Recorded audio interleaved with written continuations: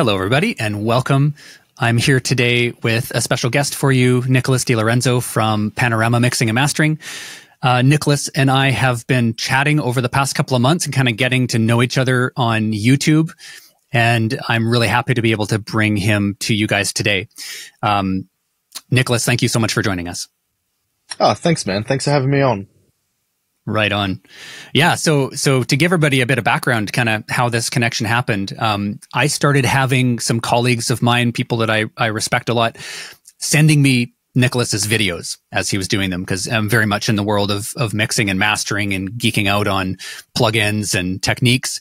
And I had some people in my world that are really legit engineers that were saying, "Hey, we're seeing some really neat videos um, that this guy's doing," and I started watching them, and uh, I started to just appreciate what it is that you were bringing to the table, and uh, it's been really amazing to see somebody who has like the legit chops and is working in the industry, cranking out a ton of mixes and masters as a professional engineer, and someone who is, uh, you know, dives deep into plugins, reads the manuals, um, really does the thorough research, and shares very legitimate and and very professional knowledge. It's rare to see people like that, and that's um, how we connected. I think I started commenting on some of your videos and we, we had a bit of banter back and forth. Um, we were looking into some of the same tools at the same time. We knew some of the same people like Luca Pretolesi and, and Ian Shepherd uh, or Ian Stewart. Um, and uh, we were looking at the Basslane Pro plugin. And yeah, so I just, there was lots of overlap.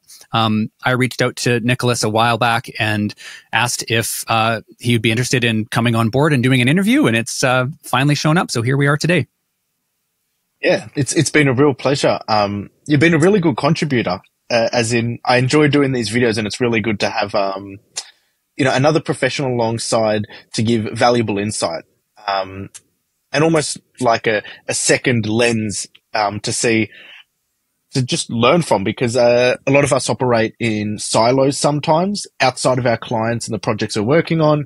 We, we can tend to get isolated in our own thought and opinion. So I, I always really welcome and I'm always really excited to see when um, you contribute to something um, as much as I do. So yeah, th- th- thanks for the connect. Thanks for connecting and creating this connection. You know, you initiated it. And I think that's I'm grateful for it. Thanks, Ben. Well, my my intention for the interview is um, uh, we have about an hour and a half, so we'll see how much of that time we use. Uh, Nicholas has been very generous with his time. He's a, an incredibly busy engineer. He's one of the busiest people that I know in the industry. So um, we're going to max out the the next hour and a half that we have together. And I've got a series of questions, and we'll see where it goes. I mean, we might go deep into one topic and totally skip over some of the other things that I'd intended to ask. But in general, the ground I wanted to cover is kind of sectioned into going into a bit of your background. You know how you arrived in this place and career path in the industry um, I want to go into some of what you do, you know, the type of kind of unique aspect of mixing and mastering that you specialize in, the type of clients you work with, some of the tools and techniques that you use and employ in what you do, um, and then kind of wrap up with, uh, you know, what it's like being in the industry these days. What what does your life look like as a as a prolific uh, engineer and YouTuber? Um, and yeah, that's kind of the the broad scheme of things. So we'll start with just the the background piece. Um, you know, and we've talked, of course, a bit offline, you and I. But um, how did you start off in the industry? How did you get into? You started off doing mastering, right? You started as a mastering engineer first.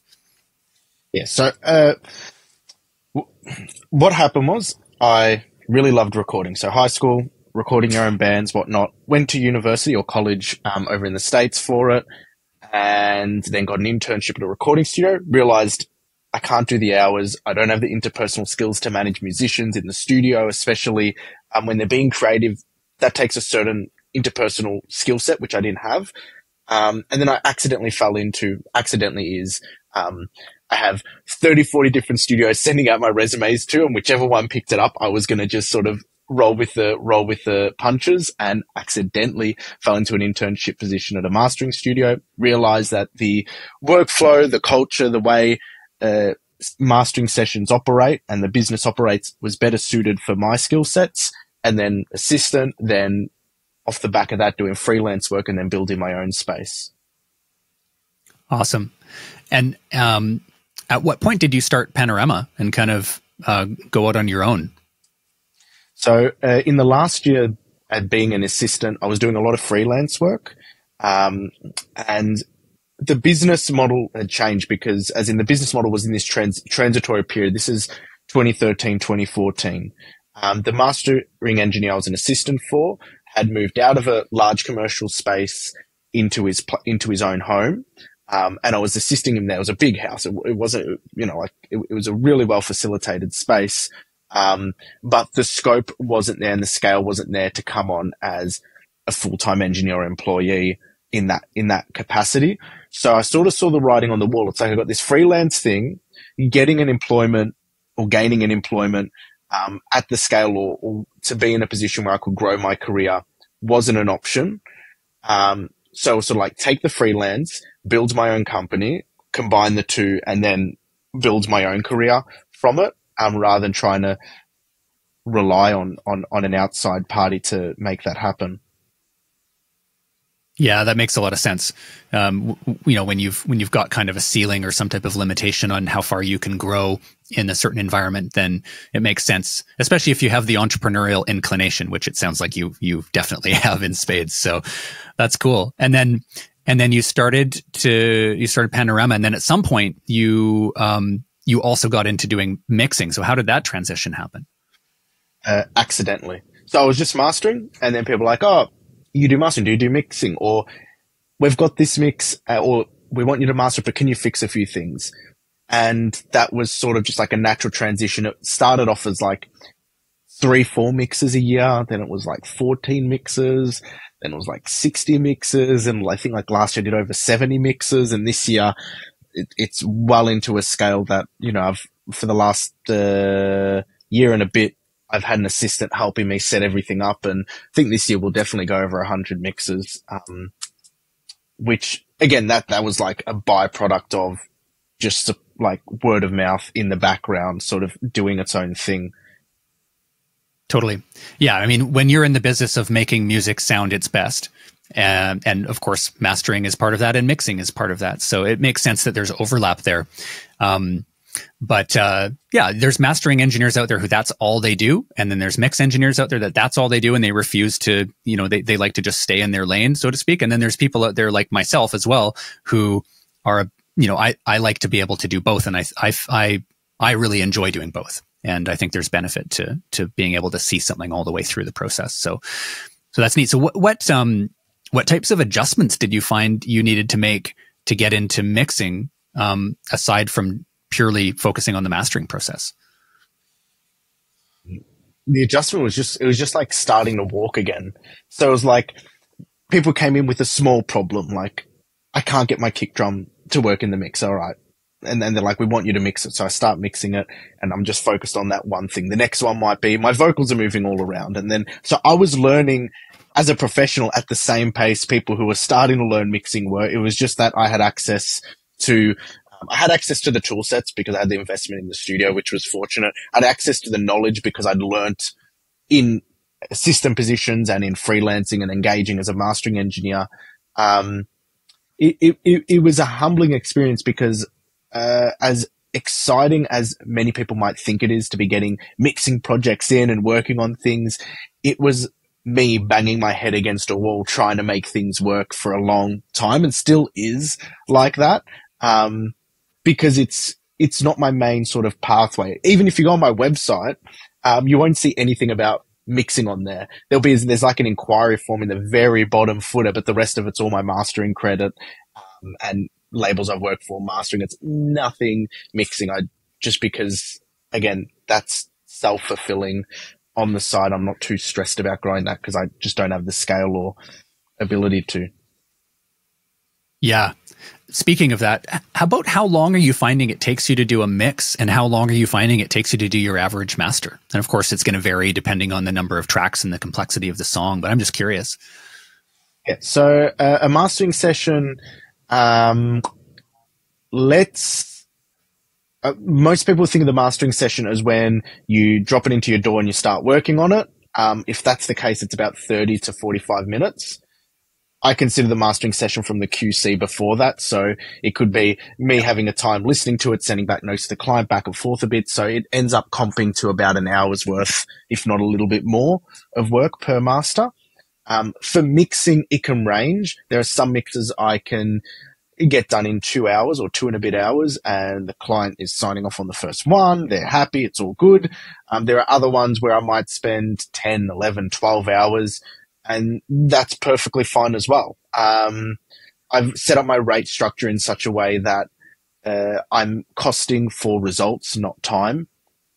So mm-hmm. I will throw everything in the kitchen sink at a mix to make sure that uh, my clients are leaving above and beyond happy. That comes at a very premium cost, but it means that I never have to stress about anything. You know, sometimes even clients in the middle of a project have sent me a whole new set of stems and I'm like, yep, that's cool. I push it through to my system. You know, I cost it wow. all in and I'm like, yeah.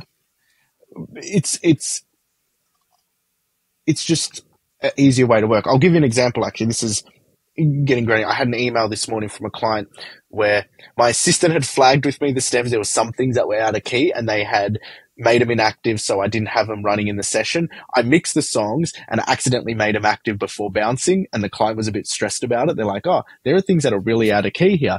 And I'm like, oh, this is my bad. Um, so I quickly go on the phone. I go, Hey, and they were worried about revisions. How many revisions? And I go, don't worry. This is on me. I'm going to get this all fixed up. Um, that, that's not on you to stress. It's not an extra revision. It's not an extra cost. Like that's how I like to operate that because I don't like my clients worrying about, you know, how many revisions, if they can do this, if they can do that, if they can't do this. It's just like once you pass that threshold yeah. of a in the mix, it's free game. It's like we can do anything you want. I really like that approach of paying for results. Um, you know, I've I've been an entrepreneur since I was 19 years old. I've always been running my own things, whatever they might be. Um, and I, I really like that mindset of you have somebody, they're going to invest, um, some of their hard earned money into something. It doesn't really, they don't care how many hours it takes really at the end of the day. Um, uh, what they care about is I pay for something and I get something that's expected, and and I think that's really smart as a as a engineer and as an entrepreneur to be able to offer that for people. And of course, on some of the projects, you're going to kind of lose out because they're going to take a lot longer than you think, and then on some projects, they're going to go and flow faster than you expected, and it all evens out in the end, like you said. Yeah, but it's it, it's also an, an, opportunity to learn cost, which I think is really good. See, if I limited mm-hmm. my clients to X amount of revisions and then you have to pay me per hour and you, you can only do it this way and that's the way we're going to do it. It doesn't open yourself up to new opportunities. Um, some examples of this would be like plugins like Trigger. I never used to do like uh, resampling in my mixes. Now I, you know, because a client wanted a different kick, I've got Trigger. And if I hadn't have allowed for that opportunity, uh, I wouldn't have explored a new tool or same with VocAlign and other tools which I'm using in my sessions. It opens up the opportunity to learn new things, learn new tools, because you get to feel their pain points and have the opportunity to address each of their pain points without them having a consideration of, oh, this is going to cost me more money, this, that, the other. You just take that off the table. But that's, that's a certain luxury that can only be afforded at a certain stage um, because people starting out can't necessarily charge the highest ticket what you need to for mixes. Yeah. Yeah, exactly. Totally. Totally. Um, I'd like to talk for a little bit about because um, you're somebody um, that sees an incredible amount of mixes. You know, any any you know professional full time mastering engineer is going to see a lot of different mixes from a lot of different artists, and I'm curious what you see um, some of the biggest and most common mistakes that you're seeing in in mixes because you're also a mixer. You know, things that you're like, oh, I would have done this differently. Is are you are you noticing a lot of the same things recurring, and if so, what are they? Um, I think it's care and attention to the consistency of elements. So, uh, let's say there's, there's a kick and a bass. Uh, the, the, the kick, there's like a, a, sustain that's like way out of line and way too loud, or the bass line as it moves through different registers. Um, I'm not a, a, complete nerd on um, sound design and synthesis, but uh, with wavetable synthesis, as you go through different registers, if there's different oscillators, they phase differently. So you get louder notes and softer notes and, and brighter notes and more aggressive notes and more dulled out notes. and mixing engineers aren't taking the time to consider how each of those notes translate when they're mixing. They're just sort of like, oh, I'm going to throw a compressor on it all and let it go. And then you end up with this like very yeah. lopsided sort of mixes. So uh, having consideration of that, and that's exactly the same for vocals. Um, you know, vocals will move in and out. They'll have a bit more proximity, a bit less proximity. Um, just going into each word and going, okay, this one, there's a boomy frequency at 180 hertz. I'm going to just take this word, add a little notch on it so it's more consistent with everything. You can use dynamic EQs and other automated things, but uh, when you actually go over every, like as a mixing engineer, when I go over every single word on every single take, it allows me to really dial it in perfectly before I even start pulling faders. Yeah, totally. And there are tools that can help you to to do that efficiently. Like there, there's a lot of different ones. You could use Melodyne for that. You can use RX for that. And I know you're a big iZotope RX guy. So um, yeah, that's that's neat. And anything else pop to mind as as common things that you see in terms of kind of stuff in, in mixes that you would you would want to correct? I'm, I'm going to circle back to you on the Melodyne thing in a second, but I'll finish answering your, your sure. question. Yeah, um, yeah, yeah. Go for it. So it's it's generally consistency, and that usually comes from how much attention or duty of care you're given to the material. Um, a, common question people ask is, should I leave my mix bus on or off or whatnot? Uh, for me, it's always uh, whatever the client signs off on is the mix I should get. Um, if you feel like you need to send an alternate, like one without your limiter on or whatnot, do that, but label it clearly which one the artist or the label have signed off on, which one they haven't. So that way I know exactly what everybody else who's a party to the project has heard. Um, that's a common one because sometimes I get some doozies where it's like, oh, I turned off this saturator and this limiter, but I left this EQ on and like 50%, it's like a Frankenstein chain of what people actually heard on that final mix bus. Um, that would, that, that would be the second thing. But the first thing is duty of care. That's like, you can have an imperfect mix. Like, let's say it's not well balanced and it might have a few little quirks which might not be technically right. But if you've given each element good TLC in terms of the bass is consistent, the kick is nice and tight, and the vocals are good. Um, if the synth comes in like three decibels loud, who cares? Like we, we can manage, like, even though it might not be perfect, the general feel of the track comes along to the listener, and that's better than having everything perfect and then on a macro level, but on a micro level, there are little things which are going in and out, distracting people. Um, circling back to the Melodyne, I need to make a personal yes. note for myself. Um, because I've had a few people mention it. What's the exact feature you're using in Melodyne when you're working on vocals outside of tuning to manage those little inconsistencies? Yeah, totally. So I, I use Melodyne and I, I was trained on Melodyne by one of the engineers at um, that had worked at Metropolis in London. Um, yeah. And so we'd worked on like Adele and Amy Winehouse and stuff like that. And he was just like the guy that people go to to um, to Melodyne vocals and he he kind of showed me his process. So I definitely use it for tuning. Um, I use it for de-essing um, because you can okay. split off that material using the split function, and I um, I use it for timing. Um, although in Ableton Live, a lot of times I'm using warping for timing, but the big one is manual, um, basically manual compression, um, similar to taking Waves clip gain. Um, different than that because that's a single effect that's riding up and down. So like in okay. Melodyne, it's it splits the vocal into what they call blobs, and it's basically syllables. Um, and you can change the, the slicing points, but basically it, it slices everything up into individual syllables of of the vocal, and then you can use the the amplitude tool to just gain up quieter parts and gain down louder parts on a blob by blob or syllable by syllable basis. And you can even it, split off, and that's how I do de-essing and, and plosive reduction if you want to get really granular, because you can split the plosives. Is um so it's very manual, but oh, it's very manual. So there's not an automated process behind the hood that can manage it.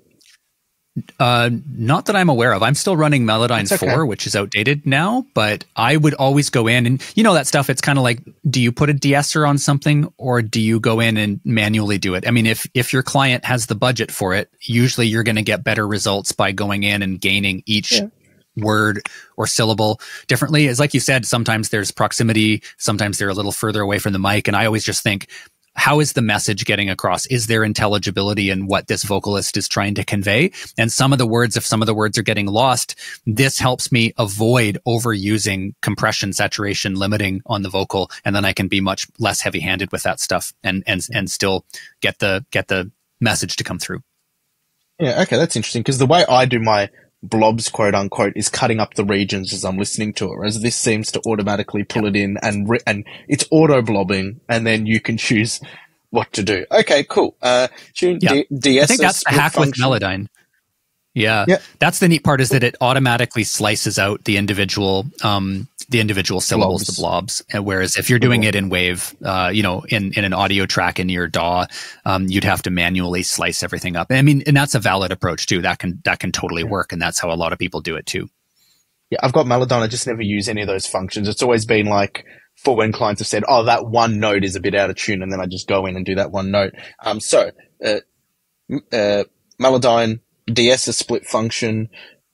It automatically populates the blobs, and then you can either manually compress it with amplitude or manage plosives and sibilants separately. But those yeah. blobs are, are, chunks of syllables. Okay, cool. Sorry, just want to take it. that down. And one additional layer to that that I'll mention is um, is um, you know sibilants and plosives don't pitch well.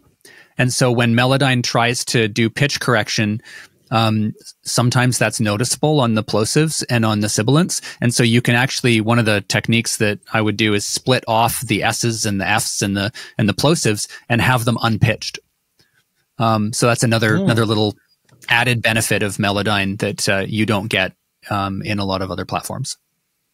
Does it does it self identify what's sibilant and what plosive, or that's just sort of done in the audition when you're auditioning? Yeah, that's fine. Yeah, yeah it's kind of like reasonable. RX where you can see it in the spectrum. You know, you kind of just get yep. used to what stuff looks like. Yep. No, that's perfect. Yeah. Good.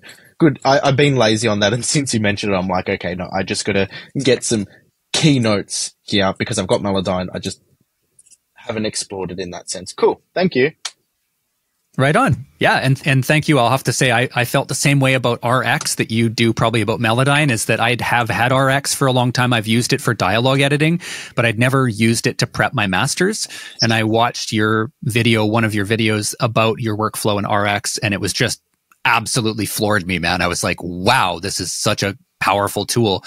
How you were doing manual um, limiting um, on just a couple of samples at a time uh, to clean up stray peaks and stuff. And I was like, whoa, okay. And then you were showing how you're using some of the different modes to adjust maybe kick or bass and and things like that. So that was a in, that was a in, fantastic video that I learned a lot from. That was in spectrogram mode, correct? The kick and the bass. Yep, okay, cool. got it. Yeah, and you were you were I, showing I the different uh, like FFT settings and stuff like that. Ah, good. Okay, beautiful. I was making sure I because I was about to say um, if you're in RX, it's worth reading the manual so you can understand the different FFT settings and the, you know, the different, um, graphing modes, extended log mal. I was just about to say, if you're, if you're getting into RX, you should definitely read the manual so you can get granular on it because you can totally. plot some really good data. Um, cool. I'm happy I did that in that video. I forgot if I had or had not done the spectrogram settings, um, but it sounds like I did. Yeah. Good on me. Yeah. It was Uber, it was Uber nerd mode video. Very one of the one of the one of the videos that definitely grabbed my attention and got me to follow your channel. So, oh, cool, that's awesome. Very cool. Well, moving along, let's let's kind of get into um, the broad topic of mastering, and um, you know, you're doing this as a professional, but I'm sure you know on YouTube you're seeing people that are maybe novice engineers kind of try their hand at it um, and maybe some of your clients you're getting you know test masters that they do. Um, what do you think are some of the kind of biggest and most common mastering mistakes that, that people make when they're either starting to learn it themselves or or they're an artist who's kind of trying to do their own like you know test master to send to a label or something? I think um, the biggest mistake I see is a reliance on the tools themselves because I get so many emails, and I'm sure you get so many emails like this as well. Oh, should I buy this tool for my mix bus, or should I buy X, Y, Z? Um, or I'm using this Abbey Road emulation master bus because it gets this sound because I saw somebody use it. I think that's the biggest limiting factor because what happens is they'll mix a song. Um, maybe one time this tool works, maybe when they follow a tutorial online exactly step by step for a particular track that's produced identical to the one in a video, it works. but then they're not left with the practical knowledge to apply anything outside of that realm. So they end up choking when it comes to like another mix they're doing and they do the same thing and they're like, oh shit, my fix, my mix is falling apart. Um, this isn't good. That's probably the biggest mistake is relying on any singular particular tool. Um, and this is something even for myself, I've had to like sort of, um, let go of, uh, my biases and my comforts with my tools because I can do the same thing and it's not uncommon. But the difference is, uh, a, a, novice will blame the tool and they'll go, this tool isn't working the way it did on the last one, or they'll self blame their mix and they'll go, oh, my mix is really bad because this tool isn't working on it. When in fact, uh, there's just a knowledge gap there, a really wide knowledge gap, which needs to be filled. And that's a really hard knowledge gap to fill because it's not something that you just read a singular piece of information and it closes the experience of a decade or two decades of doing the work. It's, you know, that's probably the biggest yeah. problem I, I would say. Yeah, fair. And I think that um, in in reference to you know seeing a tool being used in a particular way by a certain engineer or it might be a video. And, and, there's there's great platforms out there now that are teaching a lot of this stuff. There's mix with the masters and and there's um, you know luca's uh, my mix lab and then of course everything on youtube. So you you get a chance to see these um, kind of celebrity engineers a lot of times like luca um, doing certain things and uh, it's it's kind of seductive to think that oh uh, that's a technique I'm going to use this on my song, uh, but a lot of times it's a very situation specific application of that tool and like it works on like a Skrillex track that he's mixing, but it really doesn't work on a, a house track or something like that. So I think, um, yeah, the, and and like you said, it doesn't fill the knowledge gap of okay, well, how do I take this technique? Is this even an appropriate tool or technique to be using in this scenario? Yeah, I, I will. I will say something which is which is interesting, and this is when it comes to like filtering audio education because there's so many different platforms. I think the one thing I look for, because I also consume that education as much as I put it out there. One thing I look for is how the presenter contextualizes the information for the situation. Um, context is really an important thing. So when you're coming to learn about something, it shouldn't be about 2 dB at 1 kilohertz or 2 to 1 ratio on compressor. It should be, there should be more backstory behind that and more front story after that to understand the result. Um, and that's what anybody who's listening to this should be trying to observe in the content they're engaging with to go, okay, I'm learning about this vocal editing technique with Melodyne. All right. Well, how was the vocal before it came in? What were they listening to before they even pulled up Melodyne? And afterwards, like, you know, how you said, uh, sibilants and plosives don't pitch well. Um, you know, how is that affected when he starts to compress it and EQ it and that effect? So you got that context before and after. That's, that's a really healthy way to engage in that content rather than just looking for the center bit. Yeah, totally. Um, and I think that when you're a when you're a beginner, or even if you're just somebody who's trying to get results really quickly, it can be really um, a bit of a rabbit hole to get down to think that there's these formulas that are universal. And kind of you, you see this thing, and it's like, oh, you you like something that you hear is oh there's the, a muddy region between x and x number of hertz and if you pull that out you'll get more clarity on your bass and then somebody just goes and by default does that on every song. Um, and, you know, we know that every song needs its own treatment and you, you really do have to listen to it. And, and like you said, context is, is, is critical. And, um, there aren't these universal formulas in, in most cases. And this, this is just like a word of warning for like the, those muddy cuts in the low mids. Um, typically why, why people as mixing engineers or mastering engineers have got to build up there isn't because they're muddy frequencies. It's actually, in my experiences, because of bad arrangement. Um, you have the harmonics of the bass at between let's say you've got a sub bass, your third order harmonics, if you've got a sub bass at 50, 60 hertz, your th- third order, uh, 150, 180. You've got a male vocal who's a little bit low in register. Their fundamentals at about 220, 230. You've got a synth pad that's, you know, voiced in an octave below middle A. Uh, middle A is 440. So you're at 220 hertz again there with the pad. And then you've got a snare drum where the beef of it's in the same spot. And it's, you cut all that out, you lose all that energy and you get a mix that sounds like it's too bright and boomy at the same time because you're trying to duck all those, that low mid energy.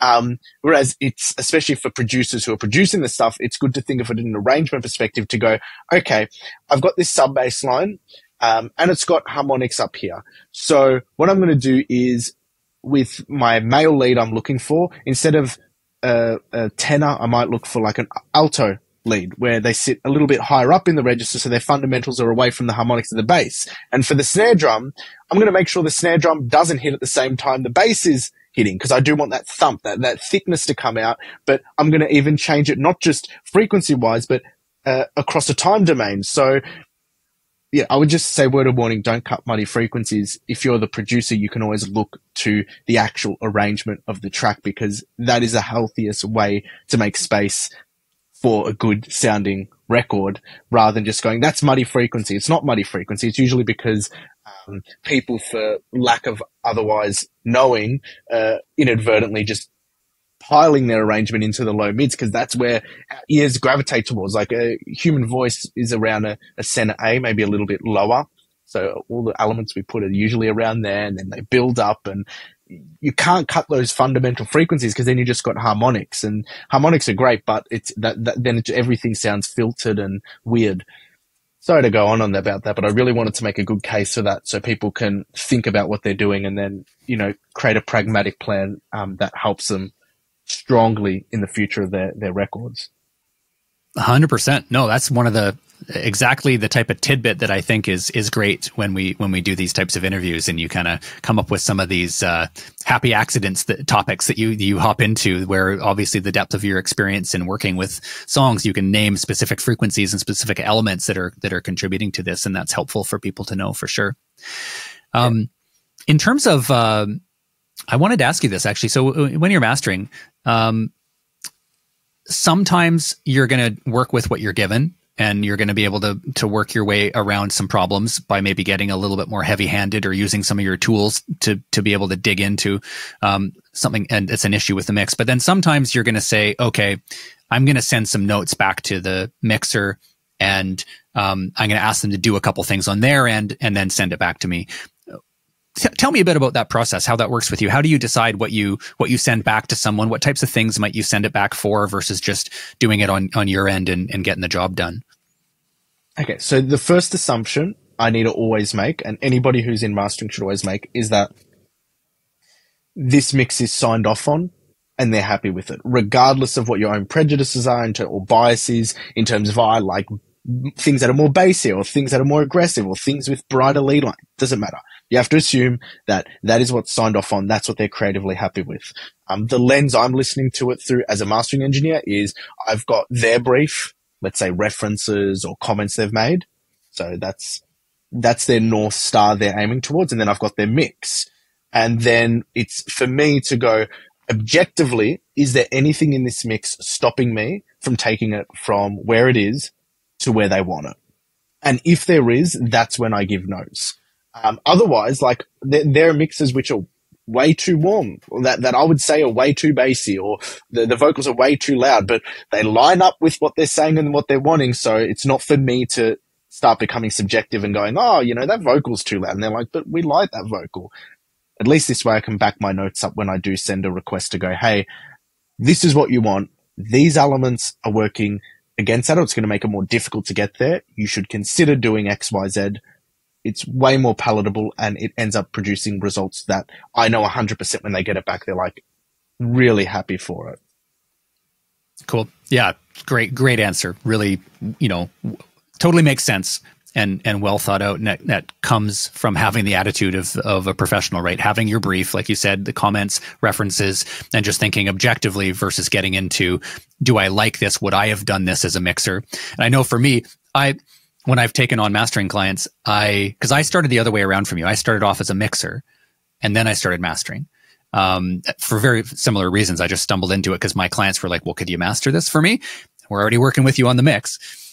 Um, but for me, coming uh, as a background as a mixer and listening to if I'm just doing mastering and somebody's sending me a mix, um, it's so hard for me not to get step into the subjective realm of it and and get, be like, well, I would have mixed it a little differently or something. You know, I, I found that personally very difficult, and I've had to just, like you said, just go hands off on it and be to be totally objective, just being like, what do you want this to sound like at the end of the day?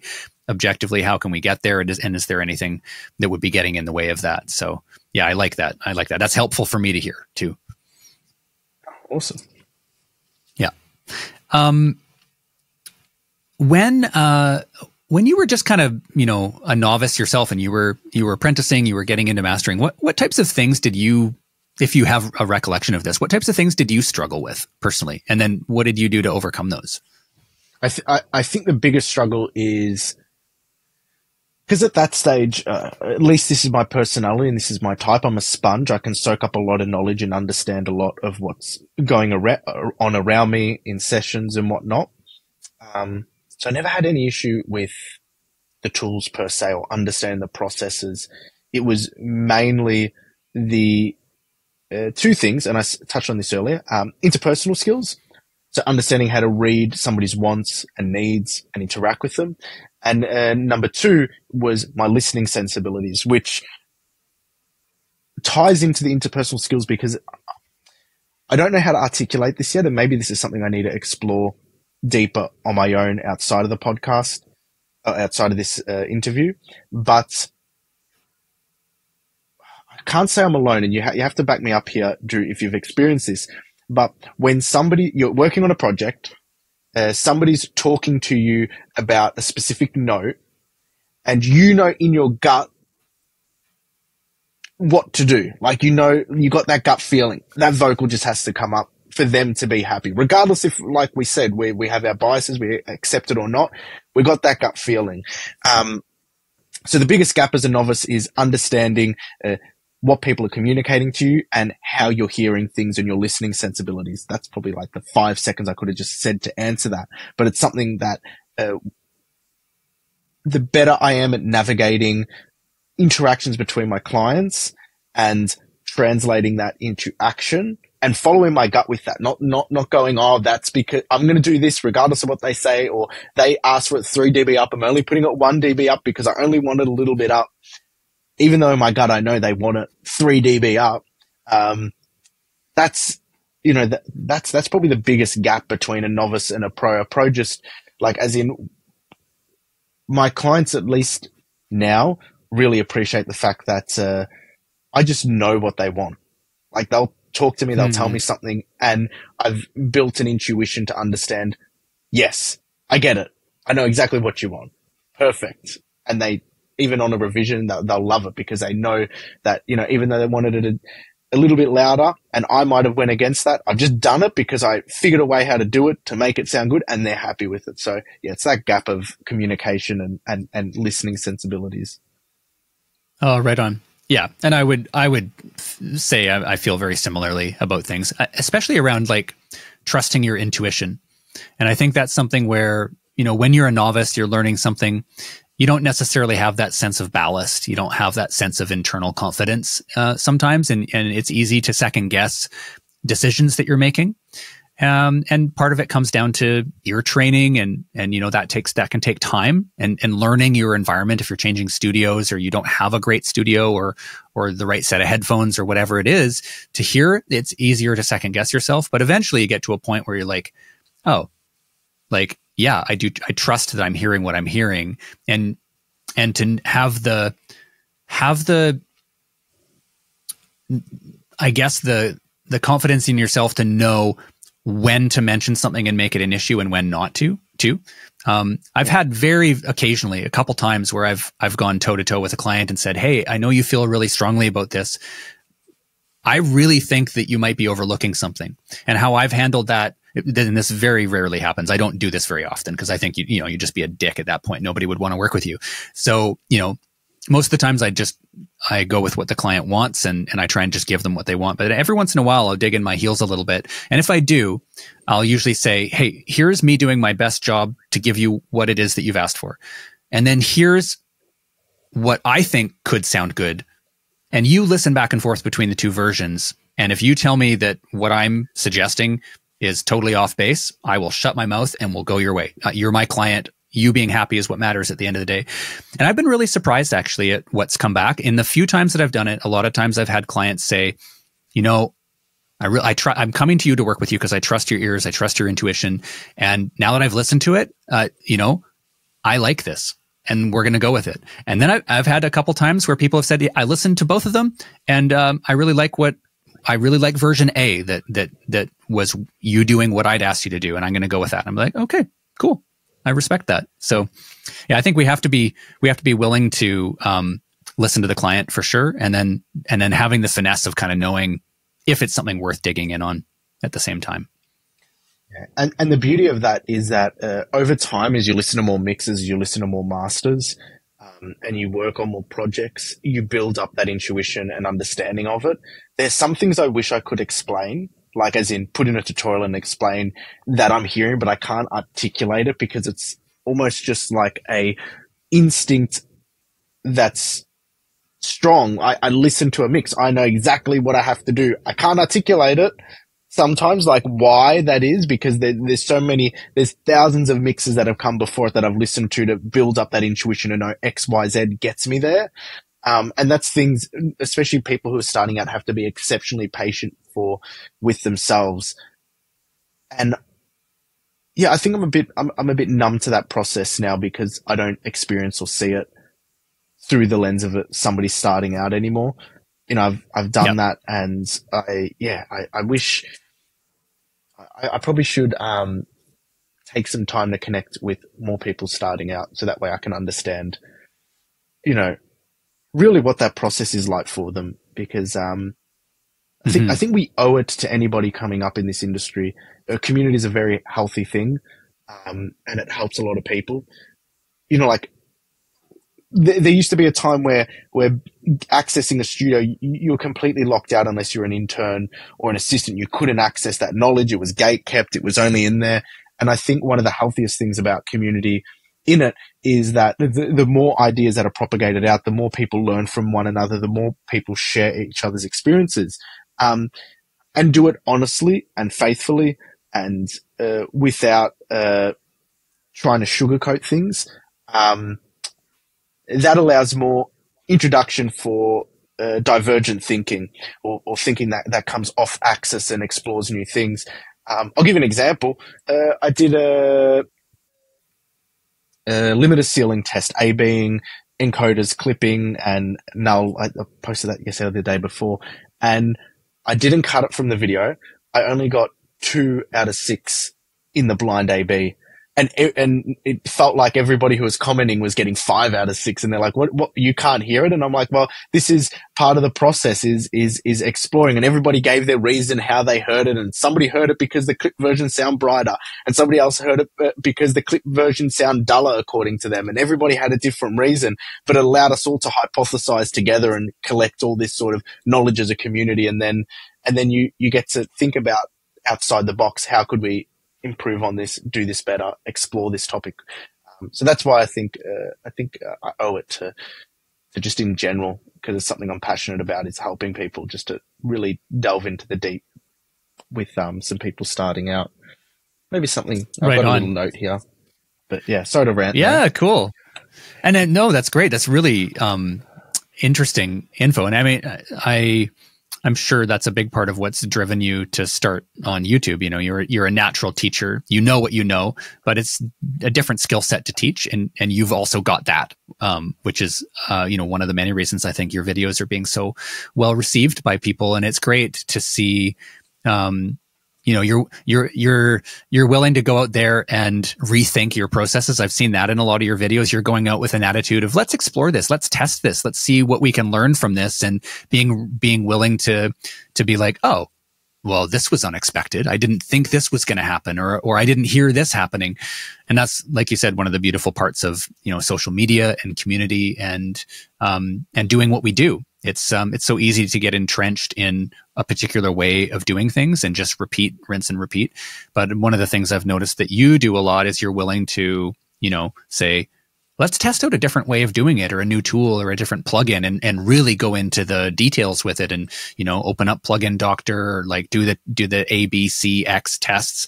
Um, it's fascinating what you, what you find when you're willing to do that. And you do learn uh, a great deal yourself and also share that knowledge with other people. And the other thing about being on YouTube is like many times, I don't, you've probably had this experience too. I learn so much from people on YouTube because they catch something that I was doing that I, you know, wasn't correct you know, I've, I've taught, I've made a lot of blunders over the years on YouTube teaching things that I've totally changed my perspective on later, you know? Um, but that's another one of the, one of the great pieces about community is, uh, you know, the people that you're working with and, and what they can contribute to you as well. Yeah. I, I think of it as like a, a GitHub archive.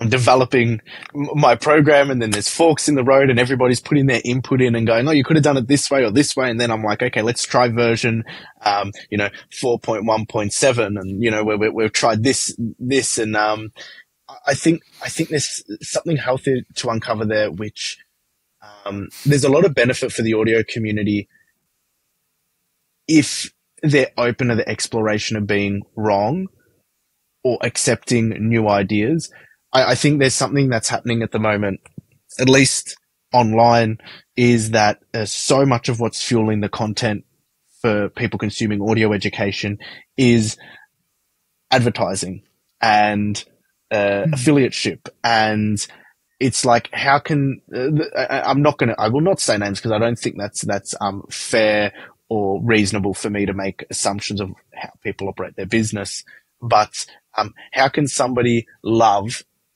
a thousand plugins. It's like, I, I don't, I don't yeah. get that. Like, eh, eh, yeah. like, uh, that, that, that's where it's like, and people follow that and they're like, oh, I need all these tools, I need all these plugins, but it's not really facilitating a discussion around how we can be better engineers or produce better results. It's just shiny new toy syndrome. It's like a collector's, um, a collector's den, you know, like, cool. All right. You know, it's a big pawn yeah. shop with all these cool collections, but not necessarily any substance, you know, outside of that. Well, totally. I think you, you made a good point there. There's there's never been so many new tools coming out. It's just their plugins are being released at an unprecedented rate. And uh, you know, you and I both test plugins. We're in touch with a lot of these companies, and and there's new companies coming up. And yeah, it's I think one of the one of the issues out there with um, a lot of engineers and and artists and producers is they don't really know uh, the majority of their tools at a really deep level and it's it's one thing to just fire something up and you can intuitively get to know your way around a plugin. It's another thing to read the manual thoroughly, have tested all of like talking about limiters even like like something like Pro L.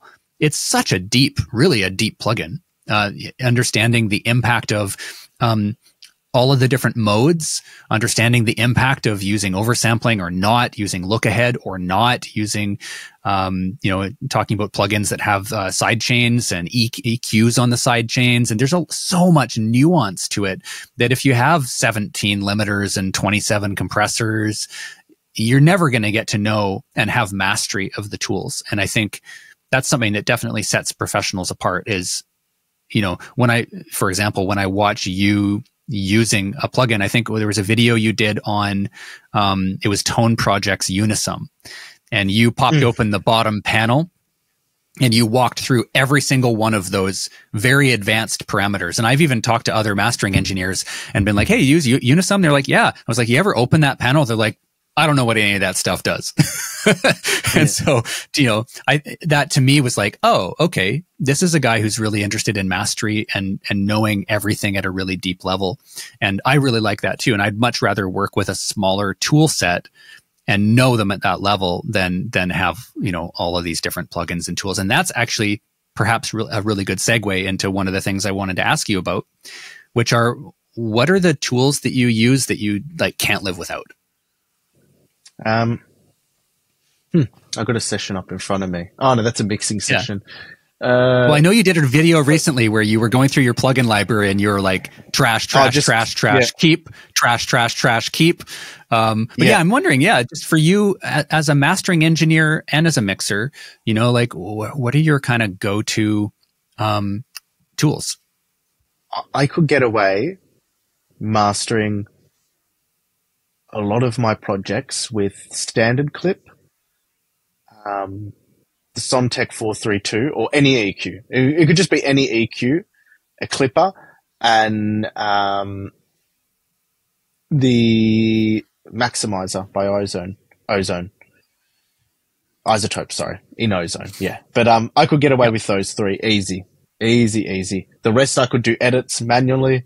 Um, like I, I, I, could put a lot of uh, other people you know, to the test just using those three plugins and they could have all the tools available, I'd be pretty confident I could, you know, go toe to toe. Right on.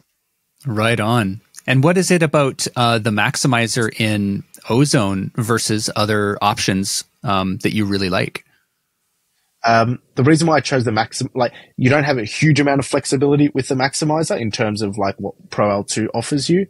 Um, but it's so, so the IRC algorithm, actually, I'll talk about, I, I won't talk about the IRC algorithm because that can be very long winded. Um, but basically it's a really good way to flick through modes and get as much distortion or as little distortion as you want from a limiter or as much pumping or as little pumping as you want from a limiter in a very quick amount of time. And it does it very cleanly and it's, and, it, and it's a very good functionality of doing that. Um, that's why in short. Cool. Right on. Um, have you ever? Uh, well, I know the IRC. Some of the IRC algorithms are multi-band, but if have you have you ever experimented with some of the multi-band limiters out there, like um, like the DMG Limitless? People have sent messaged me about it. I think you've even mentioned it to me in the past. No, I haven't. Um, not for anything other than the fact that it doesn't fill a need in my process yet, or it doesn't mm-hmm. like there are hundreds of tools out there, like you said, that you can go out and look at. And DMG Limitless always comes up. I've even downloaded the demo once, but I never got around to looking at it. But then I've got to go through the whole manual and really understand it. And I go, is the friction to getting to understanding this tool solving a problem that I don't even have? Like, it's like, I, I, I don't know the gap that it would, that, that it would solve for me right now. Um, and in short, no, I don't look at multi-band limiters. Don't yeah, know why. Yeah. It just it's never it's never an issue. Like yeah, with with with ozone maximizer, I'm doing like 1.5 dB a gain reduction or two when it's getting super hot, and even then, it's like it's it's not making so much of a huge difference to my sound that it's compelling me to go elsewhere. Right. So even on some of your, um, well, actually, I wanted to talk to you about your T-shirt actually, because that was uh, that could be a cool segue into talking about uh, you know the realm that we're talking about now, kind of loudness and limiters and tools for that. Um, tell me about the T-shirt. Oh, the anti-loudness loudness club. So this was um, yeah. just something I designed because I liked the idea of doing like my own parody of the antisocial social club but with loudness in it because I thought that's actually pretty funny because like that's pretty representative of every mastering engineer would, would be in the anti loudness loudness club because we all, you know, have to face that sort of, you know, issue um, in in our in our career.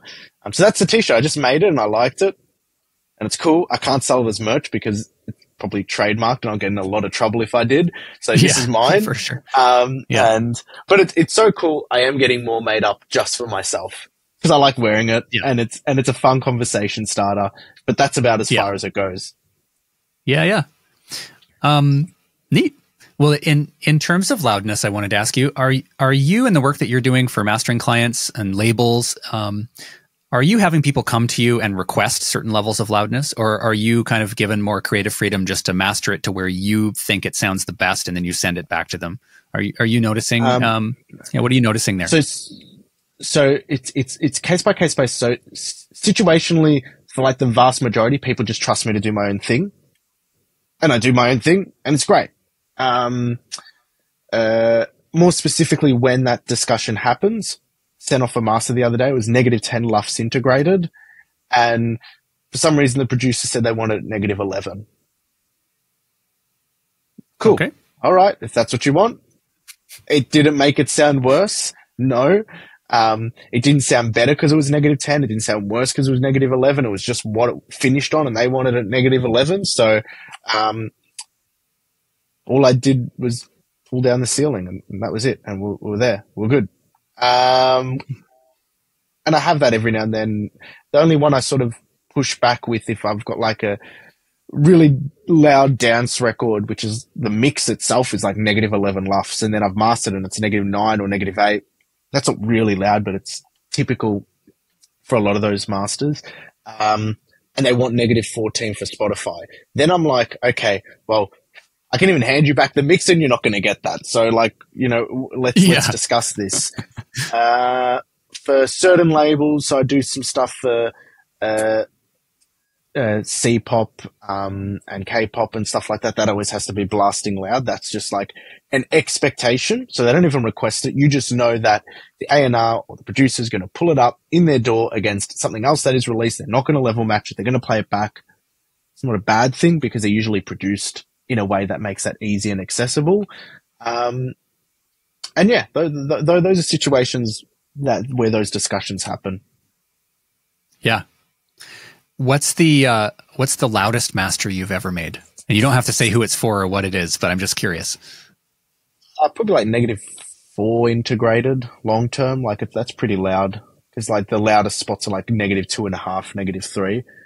That's a very big outlier. That is not a common thing. Yeah, it's like a huge no outlier. It was probably electronic music. I'm imagining. Yeah, it was like a, a trap dubstep. I, I, don't know how to explain. I'm, I'm, not too in the weeds of the subgenres and genres of the subgenres. It's just sort of like it was electronically produced music and it was loud and you could hear it was loud just because of the way it was, even before I ever mastered it. It was destined to be there. Yeah.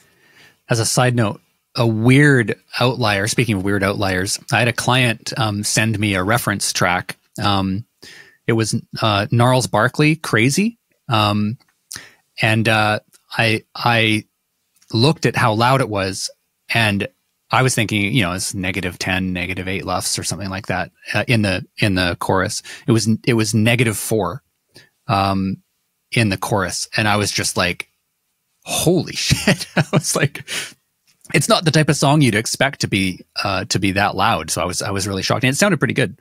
Didn't sound like it was really uh, making crazy compromises to get there. But uh, yeah, that was a, that was a shocker for me to have that come in as a reference and be like, I had to check all my settings in my mastering session to be like, did I, have a gain stage down after my limiter somewhere in my in what I'm doing when I listen to this track full blast? It was nuts.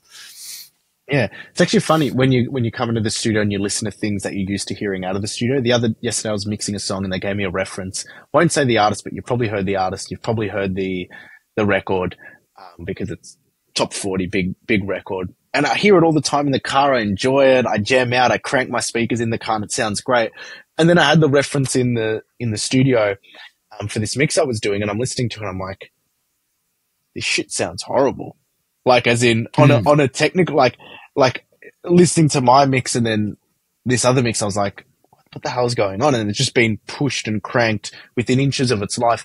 And it's, and it's actually funny because it actually tells a story about we're in the weeds with what we do as engineers, very passionate about driving towards something that's exceptional, okay?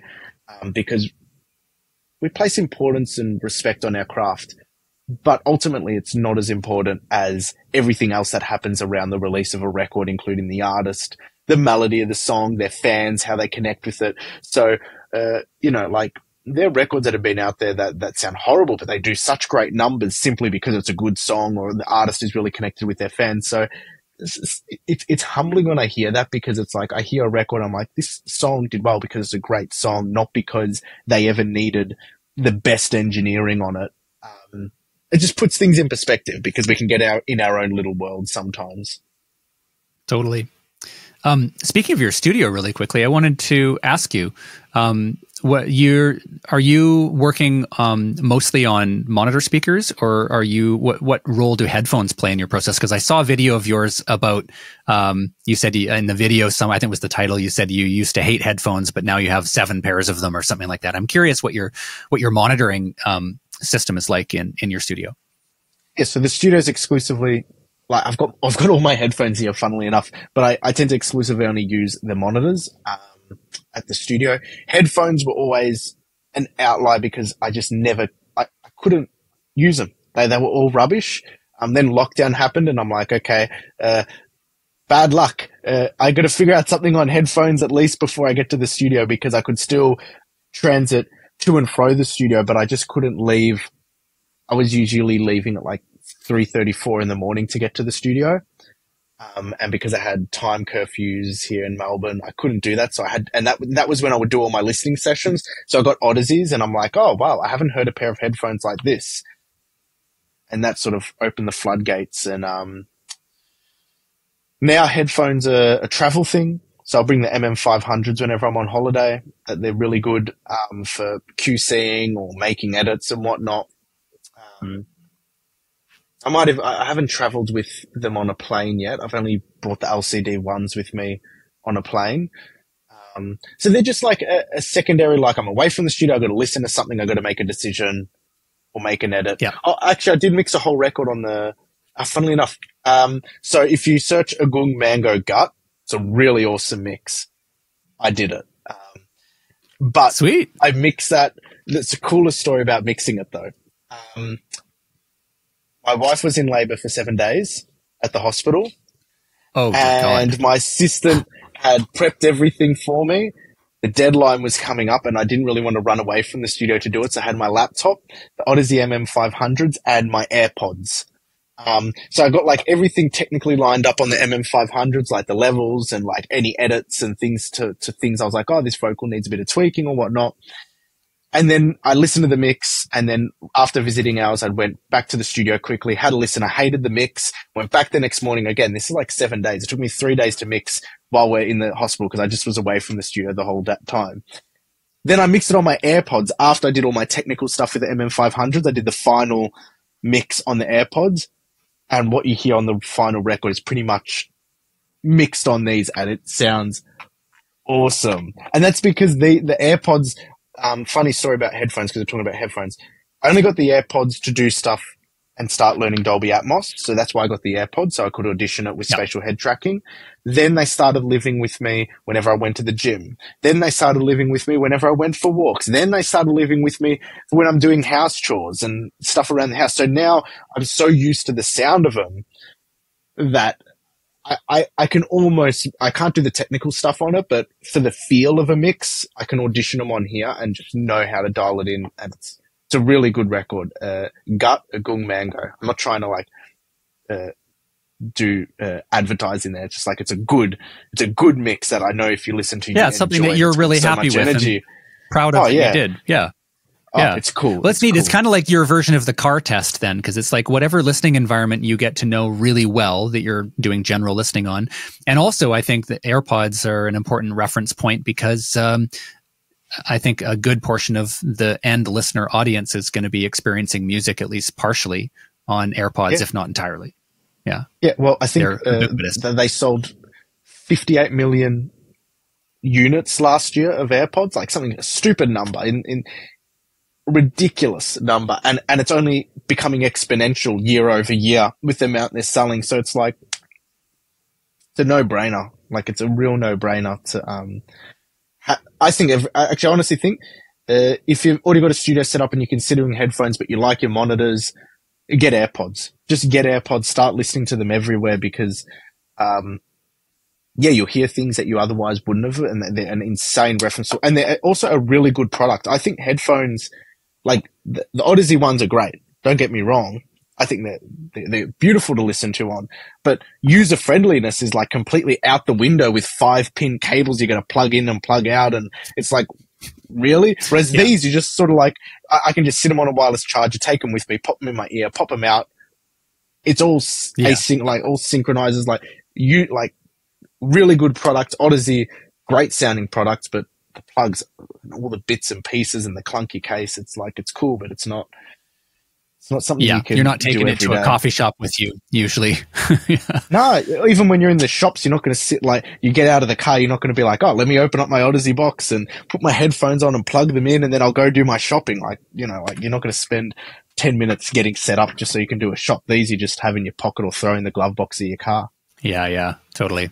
Well, the, I don't. Um, the ones I end up using actually they're out of print now, but they're the Audeze um, Euclid IEMs, and so those are what I use yeah. when I'm when I'm running around. They're just little little earbuds that pop in. They're cabled, but they uh, have a Bluetooth. Um, they have a Bluetooth connection for them that you can use if you want to, and that's kind of what I've done because I also find. I mean, the AirPods have um, background noise rejection on them, but with the Audeze, the Euclids, at least they just pop in and they actually, it's a physical barrier, um, as part of the IEM. So that's what I use that when I want something small. Cause yeah, the same thing. I have like all, most of the Audeze headphones because I work with them quite frequently.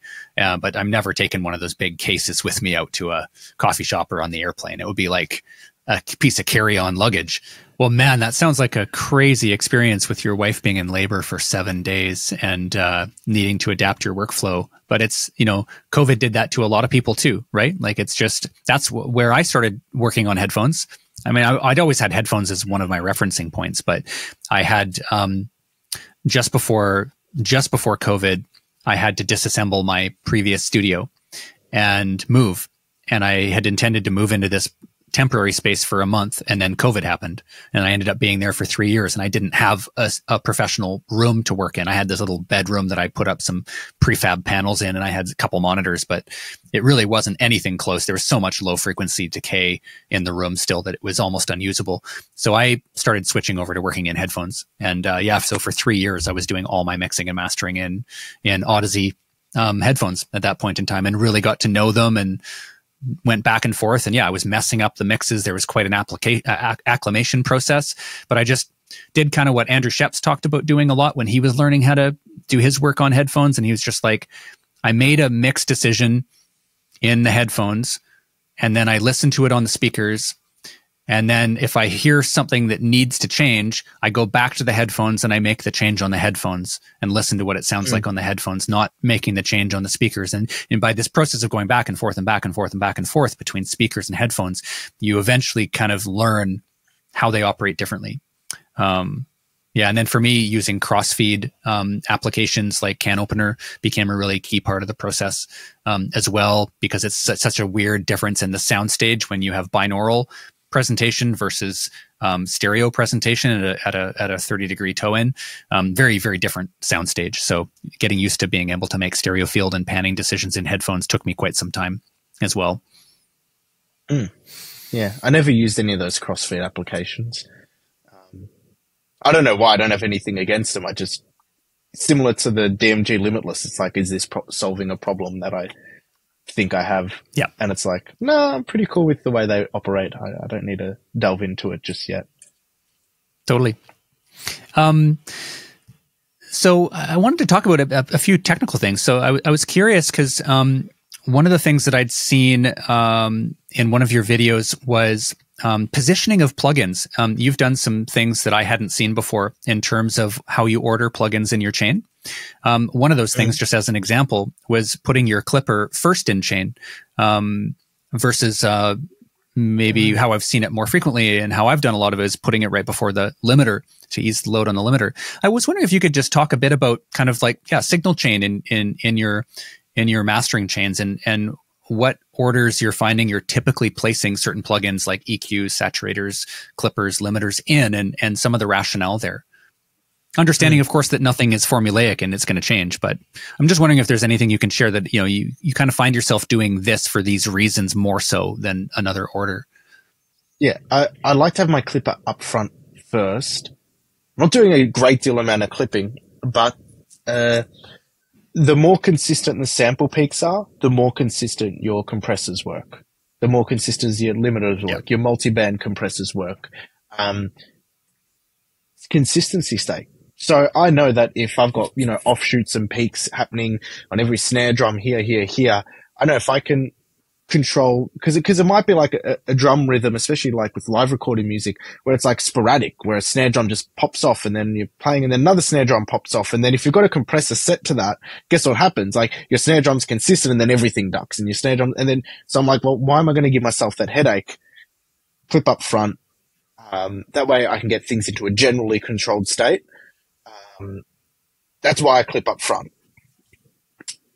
the counter argument that some people have for that is that it can, if you're introducing processes that cause any phase rotation, you move the clipping onto the side of the waveform. Yeah. But you have to do a great deal of phase rotation. You need either full low cuts or full, you know, uh, you know, full passes of information to happen where you're rotating the waveform enough that that's actually an issue.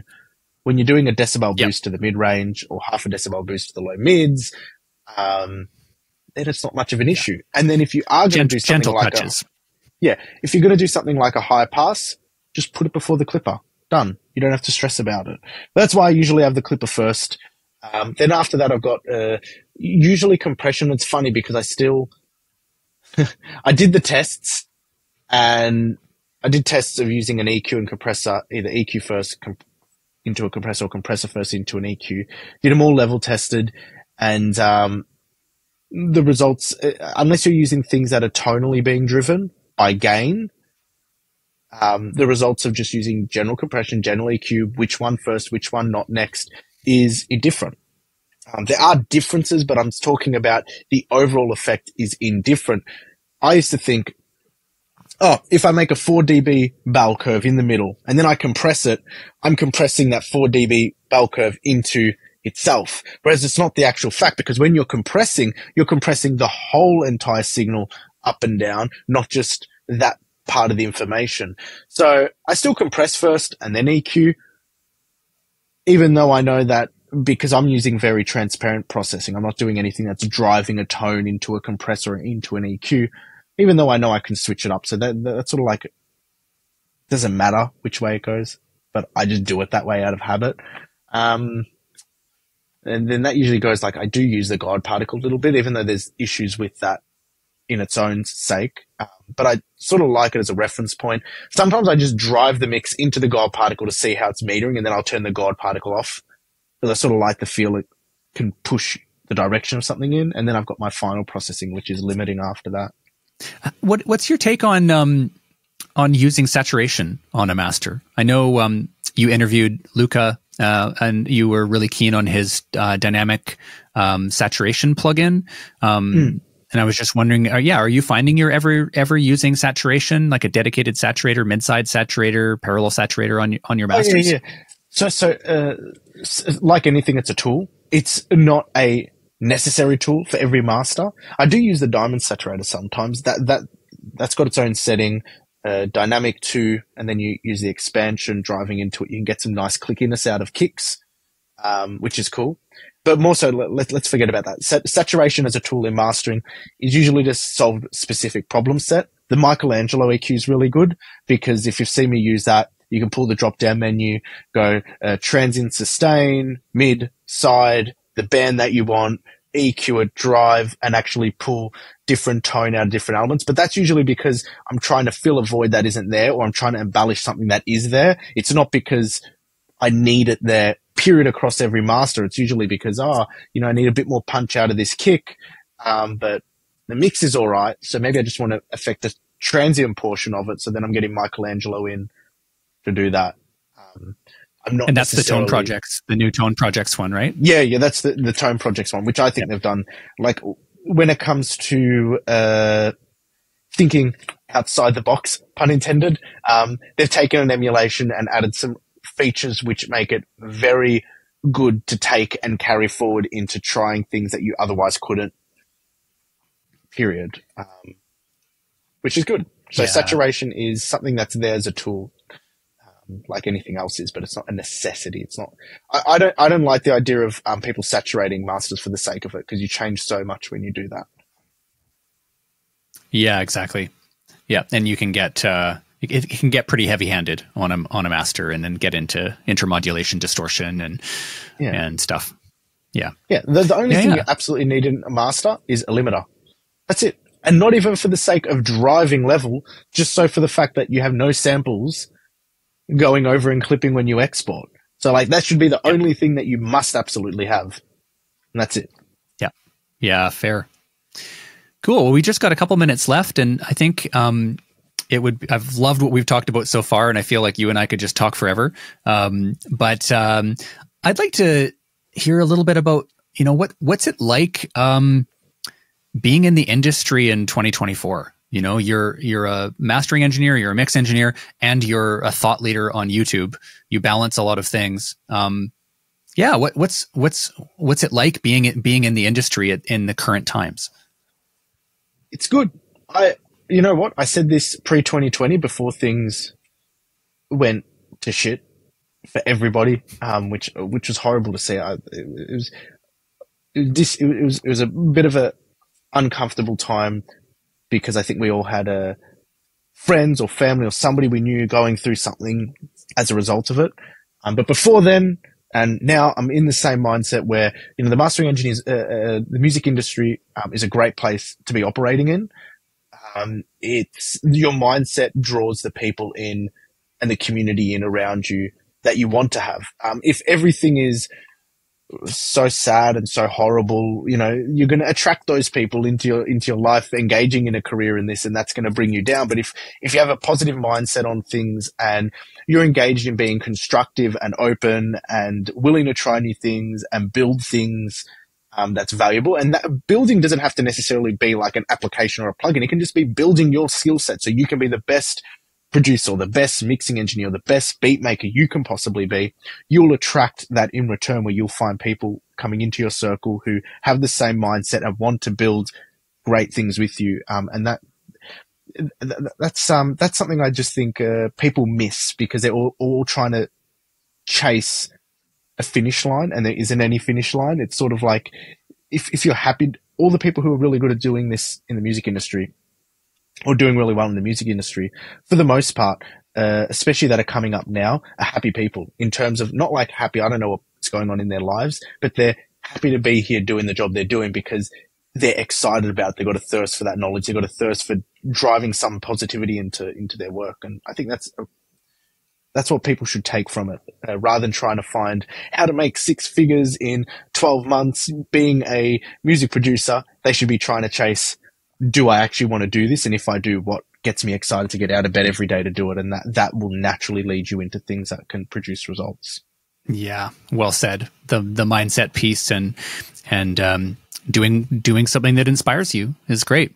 Well, speaking of uh, this will be my last question for you, and then we'll wrap up. Um, speaking of things that inspire you and kind of the direction that you're going, where are you headed in the next year? Like, what's one of your really big goals? What are you working on on personally, professionally? That's that's really focal for you. So, I'm very fortunate that the mastering side of my business takes care of itself now. So I don't uh, outside of developing my skill sets there, I don't have to like push and drive to get more business in. That sort of takes care of itself. M- my thing is, is, is thinking about, uh, so I do content on YouTube, but considering how I can produce something of value through that content that helps people or is transformative for them. I'm not saying an app. I'm not saying a plugin. I, I, I think plugins have always been on the cards, but that's not necessarily the gateway to that.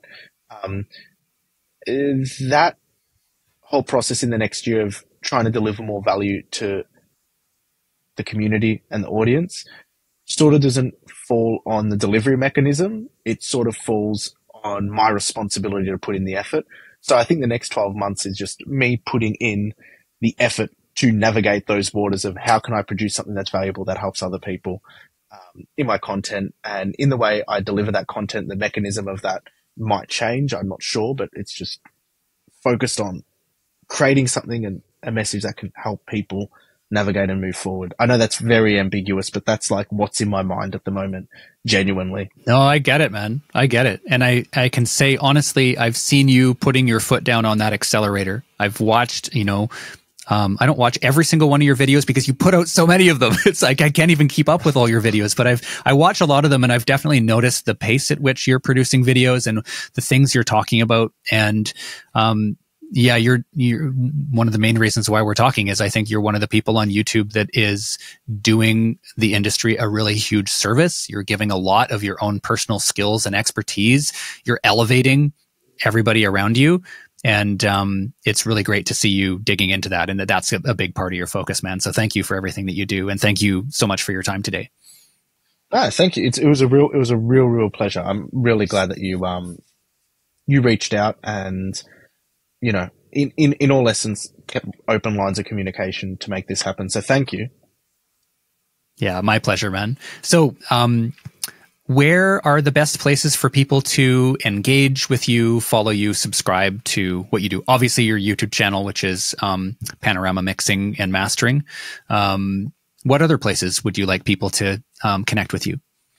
So, uh, one space which is fun for my ego is is my Instagram page, which is at panorama underscore mastering. And the reason why it's fun is because I just share the records I'm working on.